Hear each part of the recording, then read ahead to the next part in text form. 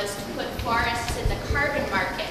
And that's called in UNE's REDD, reducing emissions from deforestation and degradation. But indigenous peoples and a lot of other peoples call it reaping profits and eviction from evictions, land grabs, deforestation, and destruction of biodiversity. And there's this great booklet which was put together by Indigenous Environmental Network, um, which explains all about uh, how terrible putting forests in the carbon market is, both for the environment and for indigenous peoples and forest dependent peoples. Now, this has a lot to do with the carbon traitors or traders um, that will be uh, partying uh, this week because it turns out that REDD is the cheapest way to buy permits to pollute.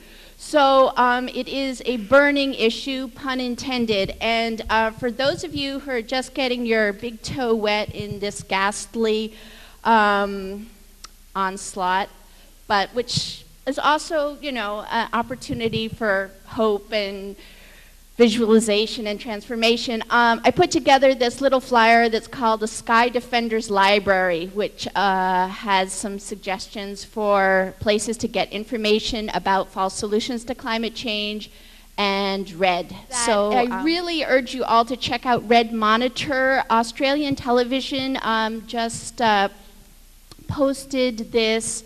Uh, report uh, which uh, interviews an indigenous man from Papua New Guinea who was kidnapped and forced at gunpoint to sign away the um, carbon rights of his community's forests to the kingpin of carbon traders. Uh, uh indigenous peoples uh, live in the majority of the forests of the world, and REDD um, could be, you know, the, the largest land grab of this century, and um, the human rights violations that are already occurring are, are really, really grave. So I urge you all to uh, look into this and step up to the plate.